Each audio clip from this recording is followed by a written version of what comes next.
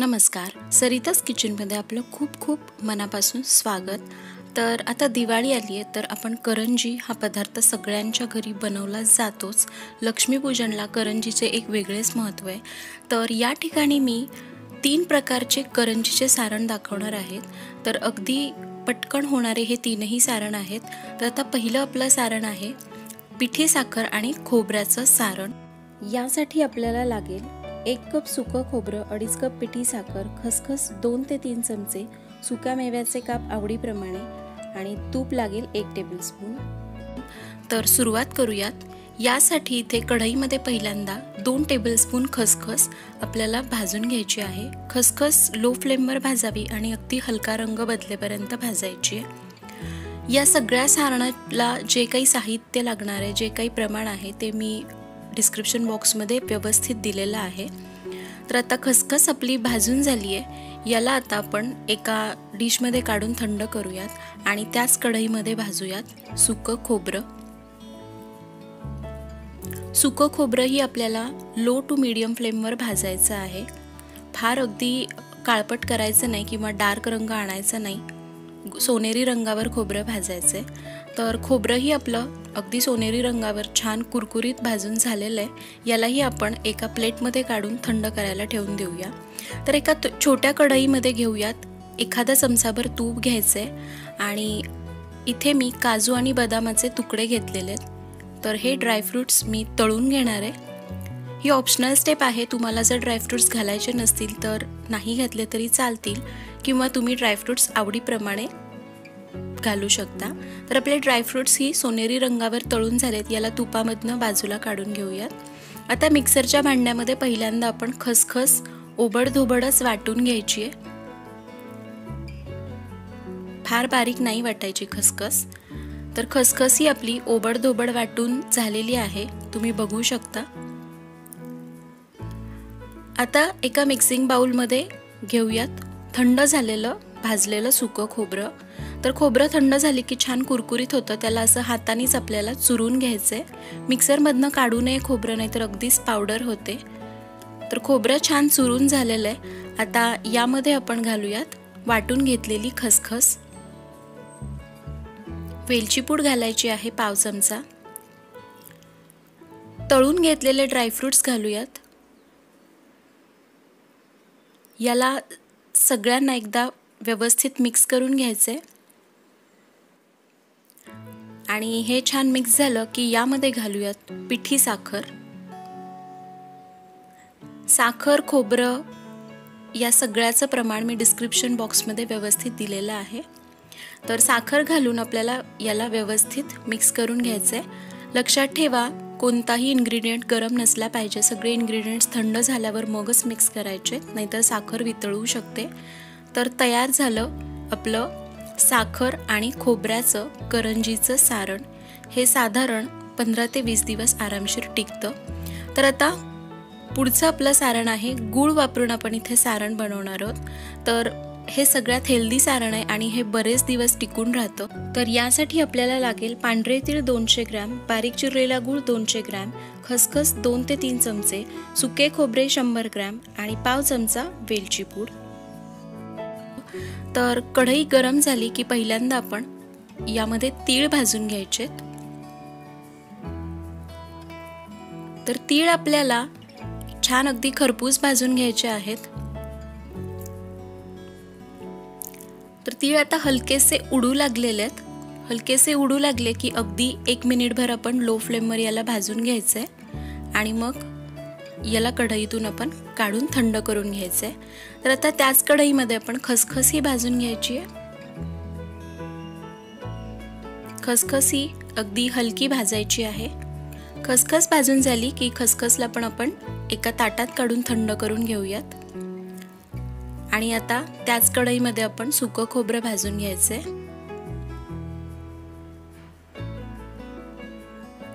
अगदी सोनेरी रंगावर खोबरं भाजायचं आहे यालाही. तर सुकं खोबरं आपलं भाजून झालेलं आहे. आता आपल्याला गॅस बंद करून यालाही थंड करून घेऊयात.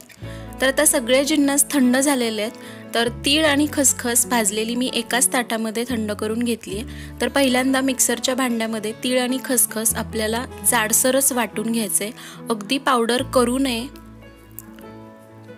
तर तीळ आपले छान वाटून झालेले आहेत. तुम्ही बघू शकता किती सुंदर रंग आलाय खसखसीमुळं. आता यामध्ये घालूयात बारीक चिरलेला गूळ. गूळ शक्यतो बारीक चिरून घ्यावा म्हणजे पटकन मिक्स होतो. पाव चमचा वेलची पूड घालायची आहे. आणि जे सुकं खोबरं होतं ते आपल्याला थंड करून यामध्ये घालायचं आहे याला एकदा हातानेच अशा प्रकारे मिक्स करून घेऊयात. आणि आता याला ओबडधोबड फक्त ऑन ऑफ करत एक दोन वेळा फिरवून घ्यायचं आहे फार अगदी फिरवायचं नाही.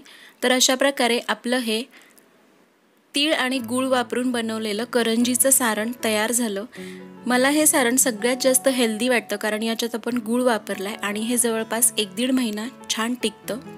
तर आता पुढची आपली सारणाची रेसिपी आहे रवा आणि गव्हाच्या पिठाचं सारण. हेही खूप खमंग लागतं.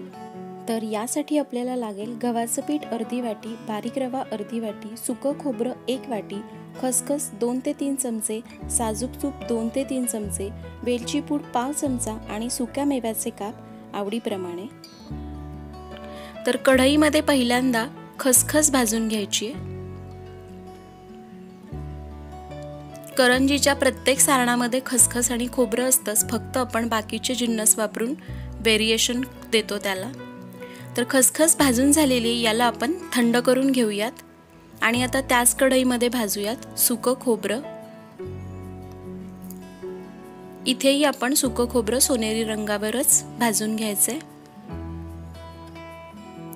खोबरं आपलं छान सोनेरी रंगावर भाजून झालं की यालाही आपण एका प्लेटमध्ये काढून थंड करून घ्यायचंय.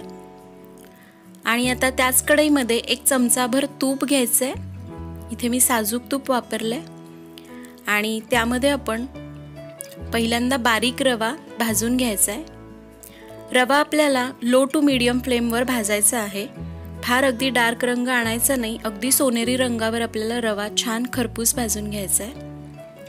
तर तुम्ही बघू शकता अगदी हलका रंग बदललेला आहे आणि आपला रवा भाजून झाला याला मी ताटामध्ये ठेवून थंड करून घेणार आहे. आणि आता त्याच कढईमध्ये परत आपण एक चमचाभर तूप घेऊयात आणि त्यावर आपण गव्हाचं पीठ भाजून घ्यायचं आहे गव्हाच्या पिठाऐवजी तुमच्याकडे जर गव्हाचा रवा असेल तर अतिउत्तम त्याने अजून छान सारण होईल आपलं. तर गव्हाचं पीठही आपलं छान सोनेरी रंगावर भाजून झालेलं आहे. पीठ कच्चं ठेवू नये छान भाजून घ्यावं. तर आता एका छोट्या कढईमध्ये मी एक चमचाभर तुपामध्ये ड्रायफ्रूट्स तळून घेणार आहे. ही ऑप्शनल स्टेप आहे त्यामुळं तुम्ही ड्रायफ्रूट्स घातले नाहीत तरी चालतील. आवडत असल्यास घालावे. तर ड्रायफ्रूट्स तळून झालेत यालाही काढून थंड करूयात. आता मिक्सरच्या भांड्यामध्ये पहिल्यांदा आपल्याला खसखस ओबडधोबड वाटून घ्यायची आहे तर इथे आपली खसखस अशा पद्धतीने ओबडधोबड वाटून झालेली आहे. आणि आता प्लेटमध्ये खोबरंही थंड झालेलं आहे यालाही आपण हाताने अशा पद्धतीने चुरून घ्यायचं आहे तर खोबरंही आपलं छान चुरून झालेलं आहे. आता एका मिक्सिंग बाउलमध्ये पहिल्यांदा घेऊयात. सुकं खोबरं. खसखस घालायची आहे वाटलेली. रवा घालूयात भाजून घेतलेला आणि भाजून घेतलेलं गव्हाचं पीठ घालायचंय. हे सगळं आता एकदा व्यवस्थित मिक्स करूयात. छान एकजीव करायचं आहे हे. आता यामध्ये घालूयात तळून घेतलेले ड्रायफ्रुट्स आणि पिठी साखर.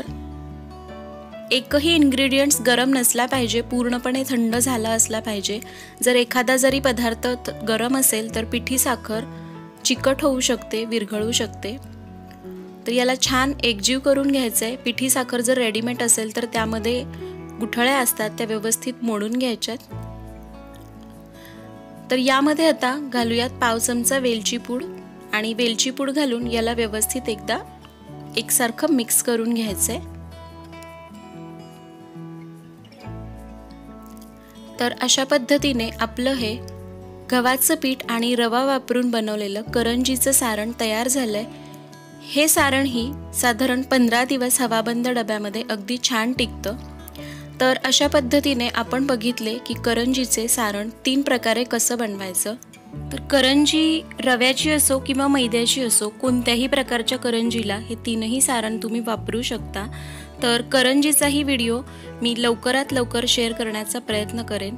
तर तुम्ही पण अशा पद्धतीने तुम्हाला जे आवडलं ती सारणाची रेसिपी जरूर ट्राय करा. कशी झाली कमेंट करून जरूर कळवा. व्हिडिओ जराही आवडला असेल तर लाईक करा शेअर करा आणि चॅनलवर पहिल्यांदा आला असेल तर सबस्क्राईब करा. लवकरच भेटू अशा छान रेसिपीबरोबर तोपर्यंत बाय बाय